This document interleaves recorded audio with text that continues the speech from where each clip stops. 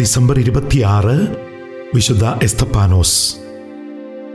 തിരുസഭയിലെ ആദ്യത്തെ രക്തസാക്ഷിയാണ് വിശുദ്ധ എസ്തപ്പാനോസ്. വിശ്വാസികളുടെ പ്രത്യേക ആദരത്തിന് പാത്രമായിട്ടുള്ള വിശുദ്ധ എസ്തപ്പാനോസ് ക്രിസ്തുവിന്റെ മരണത്തിന് രണ്ടു വർഷങ്ങൾക്ക് ശേഷം കല്ലെറിഞ്ഞു കൊല്ലപ്പെടുകയാണുണ്ടായത്. അപസ്തോല പ്രവർത്തനങ്ങളിലെ സൂചനകൾ പ്രകാരം വിശുദ്ധനെ പിടികൂടിയതും അദ്ദേഹത്തിനെതിരെ ആരോപണം ഉന്നയിച്ചതുമെല്ലാം ക്രിസ്തുവിന്റെ വിചാരണയോട് സമാനമായിരുന്നു എന്ന കാര്യം എടുത്തു കാണിക്കുന്നു. നഗരത്തിന്റെ മതിലിന് പുറത്തു വച്ചാണ് അവർ വിശുദ്ധനെ കല്ലെറിഞ്ഞത്. തന്റെ ഗുരുവിനെ പോലെ സ്വന്തം ശത്രുക്കൾക്ക് വേണ്ടി പ്രാർത്ഥിച്ചുകൊണ്ട് വിശുദ്ധൻ മരണം വരിച്ചു. പരിശുദ്ധാത്മാവിനാൽ നിറഞ്ഞ് കർത്താവിന്റെ ശിഷ്യന്മാർ സുവിശേഷം പ്രസംഗിക്കാൻ ആരംഭിച്ചതോടെ ആയിരക്കണക്കിന് ആളുകൾ ക്രിസ്തുമതത്തിൽ ചേർന്നുകൊണ്ടിരുന്നു. അപ്പസ്തോലന്മാരെ സഹായിക്കുവാനും അവരുടെ സുവിശേഷ പ്രവർത്തനങ്ങൾ ലഘൂകരിക്കുവാനും വേണ്ടി തിരഞ്ഞെടുക്കപ്പെട്ട ഏഴ് ഡീക്കന്മാരിൽ ഒരാളായിരുന്നു വിശുദ്ധ എസ്തപ്പാനോസ്. വിശ്വാസത്താലും പരിശുദ്ധാത്മാവിനാലും നിറഞ്ഞ പുണ്യാത്മാവായിരുന്നു അദ്ദേഹം. മഹത്വവും ശക്തിയും നിറഞ്ഞവൻ. അപസ്തോലിക തീക്ഷ്ണതയാലും ദൈവിക വരങ്ങളാലും അനുഗ്രഹിക്കപ്പെട്ട ദൈവിക മനുഷ്യനായി വിശുദ്ധൻ വിളങ്ങിയിരുന്നു. ദൈവകൃപയും ശക്തിയും നിറഞ്ഞ് ജനങ്ങളുടെ ഇടയിൽ എസ്തഫാനോസ് നിരവധി അത്ഭുതങ്ങളും വലിയ അടയാളങ്ങളും പ്രവർത്തിച്ചു. അദ്ദേഹത്തിന്റെ പ്രഭാഷണങ്ങളോട് ചെറുത്തു നിൽക്കുവാൻ വിജാതിയർക്ക് കഴിഞ്ഞില്ല. ഇയാൾ ദൈവത്തിനും മോശയ്ക്കുമെതിരായി ദൂഷണം പറയുന്നുവെന്ന് അവർ ജനങ്ങളുടെ ഇടയിൽ പ്രചരിപ്പിച്ചു. ജനത്തെയും പ്രമാണിമാരെയും വേദപണ്ഡിതരെയും ശത്രുക്കൾ ഇളക്കിവിട്ടു. എസ്തപ്പാനോസ് തടവിലാക്കപ്പെട്ടു. പ്രധാനാചാര്യന്റെ ചോദ്യങ്ങളും അവയ്ക്കുള്ള എസ്തപ്പാനോസിന്റെ മറുപടികളും നാം വായിച്ചിരിക്കേണ്ടതാണ്.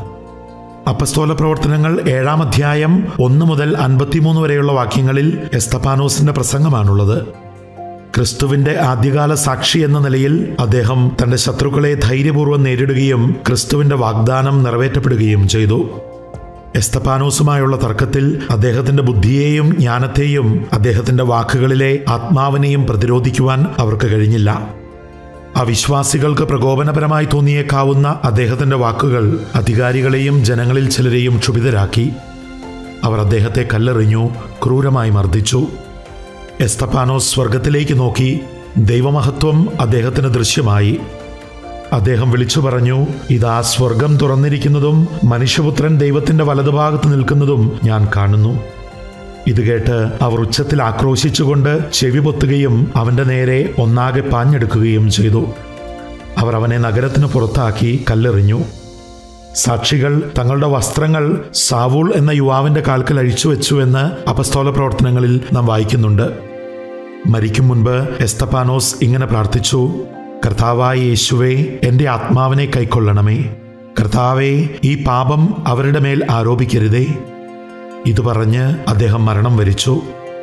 സ്വന്തം ജീവൻ തന്നെ ത്യജിക്കുവാൻ തയ്യാറാകും വിധം ക്രിസ്തുവിനെ പോലെ തന്നെ തന്റെ കൊലയാളികൾക്ക് വേണ്ടി പ്രാർത്ഥിച്ചുകൊണ്ട് ക്രിസ്തുവിനെ അനുകരിച്ചവനെന്നാണ് ആദ്യ രക്തസാക്ഷിയായ വിശുദ്ധ എസ്തപ്പാനോസിനെ കുറിച്ച് ആരാധനാക്രമത്തിൽ പരാമർശിച്ചിരിക്കുന്നത്.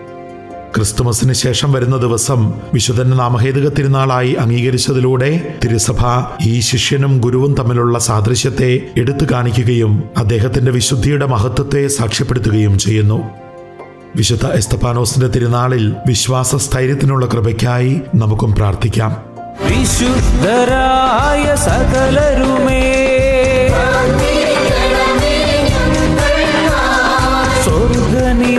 வாசிகள் சகலருமே.